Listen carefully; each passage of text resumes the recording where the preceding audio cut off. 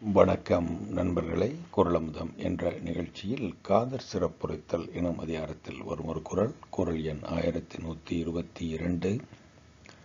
உடம்புல உயிரிடை என்ன மற்றென்ன மடந்தையோடு எம்மிடை நட்பு?